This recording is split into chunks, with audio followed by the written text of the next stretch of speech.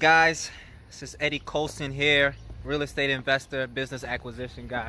So one of the things that many people are always asking me and one of the one of the big most important things is how do you find properties? One great thing that you can do while you're driving out, while you're looking, while you're strolling, you're jogging, you're doing whatever you got to do is find properties that look that look dilapidated. Find properties that have high grass, properties that are boarded up, um, ha has a bunch of the blinds aren't there, the windows look messed up, broken into. You just want to look for signs that the property is vacant. The property is vacant, that may mean that the property is abandoned. That may mean that they don't have the ability, the financial ability to take care and upkeep the property. That being said, you're helping these people, right? So you're going around, you're looking for these properties, you're looking to see who you can help to find, who you can help get them out of their situation, who you can help to, to buy a property, right? So you want to look for signs of motivation, right?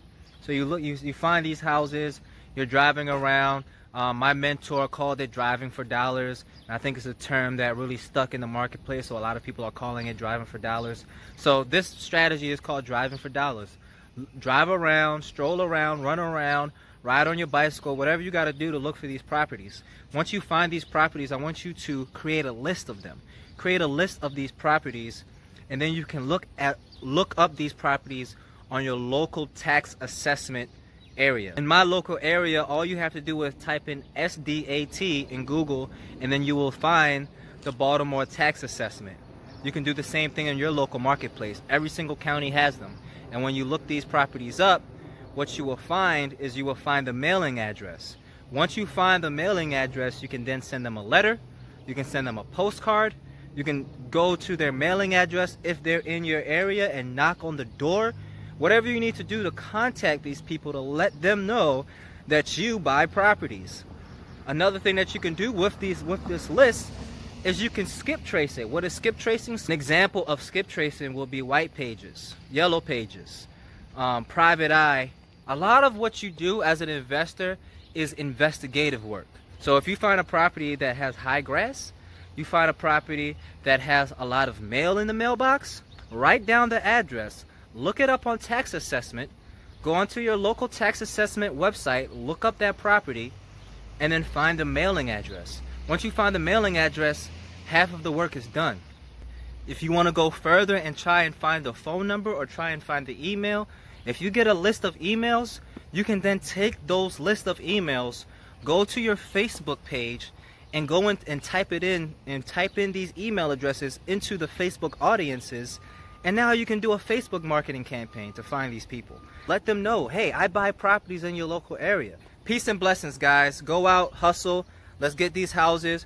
We can buy a property, one property at a time. We can buy the block, one property at a time. Peace and love. Make sure you subscribe. Make sure you like it. Make sure you share with people. The more you share with people, the more we can impact the world and help somebody else find properties. All right? So subscribe, like, share, and let me know how I'm doing, guys. I want you guys to comment below and let me know how I'm doing. What else do you want to learn? What information are you are you looking for? All right? I, I want to give a lot of content. So let me know, all right?